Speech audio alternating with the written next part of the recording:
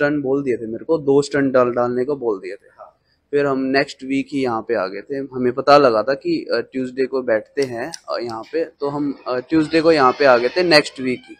और फिर उन्होंने बताया ऐसे ऐसे दवाई है ऐसे ऐसे डाइट है तो वही फॉलो कर रहे हैं तीन महीने से और अब 90 परसेंट आराम है। कैसे आयो यूपी क्या हुआ था? अटैक ही। अच्छा अब ठीक है? हाँ ठीक।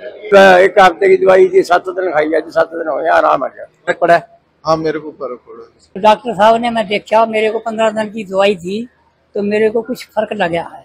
काढ़ा पिया था जी काढ़े गवा कर भी काढ़ा एक निर्णय काल जल था रोज सवेरे। तो काढ़े से फ़र्क पड़ा है। साहब क्या कहेंगे काढ़ा पीने से हार्ट की सारी ब्लॉकेज ठीक हो जाती है स्टंट डलवाने की ज़रूरत नहीं पड़ती ऑपरेशन कराने की ज़रूरत नहीं पड़ती? इसमें क्या होता है इसका ना आयुर्वेदिक इलाज है।